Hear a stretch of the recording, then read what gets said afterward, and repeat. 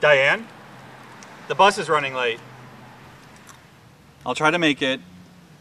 Yes, he'll be there on time. Okay. Bye. So I just read something really interesting. What is it, dude? They finally proved that these cell phones give you cancer in your head. What did you do? Like read that on the internet?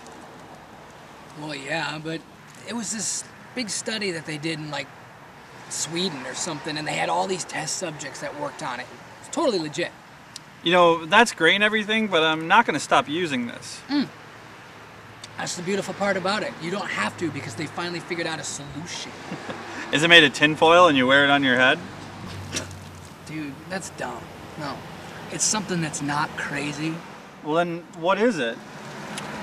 Basically, you have to rig up this little Tesla coil, and you have to work it with the Bluetooth technology, and you turn it on anytime your phone rings. And you carry it in your pocket? I mean, how's that supposed to work? No. You gotta shove it up your butt because it disrupts the electromagnetic radio waves through the iron in your blood. Um, you know what? I'm thinking bullshit on this one. Actually, placed the order for one from IKEA. On the way. It's real. Really? And it blocks cancer? Mm-hmm. Um, you know what? I think I'd rather just take cancer. Dude, don't be dumb. Come on. I don't know, man. Uh, hey, what do you think? I think that science sounds outlandish and preposterous.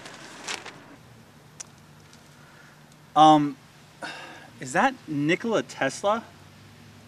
I think so.